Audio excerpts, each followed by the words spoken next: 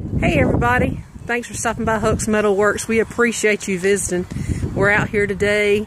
It's a little chilly, but you know, pig cookers don't stop. We got to keep working on them. And Tim's out here painting, and I just wanted to share that with you. Him and his little painting skills.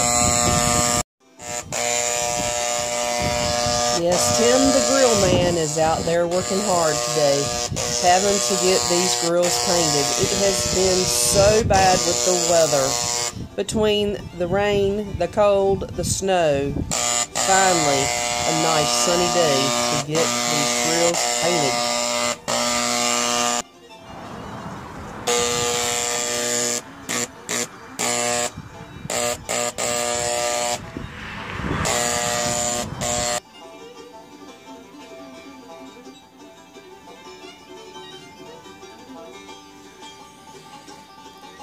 Check out our page on Hux Metalworks at Facebook. We have a lot of pictures of our grills that we make.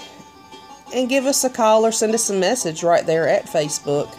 And we'll be more than glad to answer any of your questions. These are some custom built grills that he has been working on.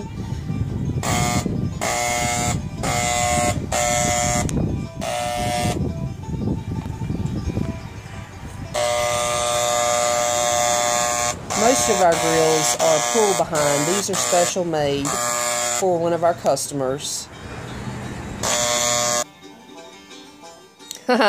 Just had to show you that quick picture of Tim. Anyway, please subscribe, like, and share our channel. We would greatly appreciate it. And as always, we thank you for stopping by Hux Metal Works.